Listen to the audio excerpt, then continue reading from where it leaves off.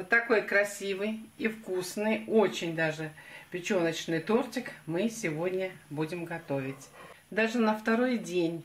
Смотрите, как он хорошо режется. Видите, как красиво смотрится и очень-очень вкусный. Давайте готовить. Печень у меня свиная вымочена в молоке, чтобы не было горечи, была нежной.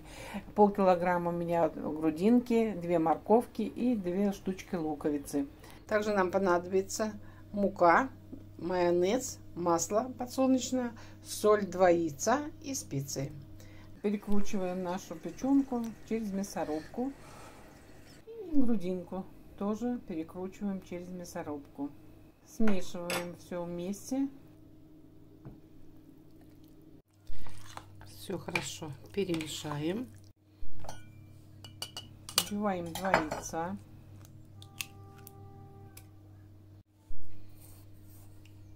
Соль по вкусу. Перец. На 500 грамм печенки 2-3 ложки муки. И все перемешиваем.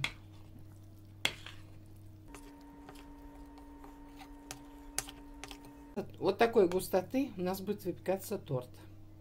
Морковь и лук обжариваем отдельно на сковороде. Лук поджарили до золотистой корочки. Морковь поджарили до золотистости. И начинаем выпекать наши блины для тортика. Каждый блин мы промажем сеточкой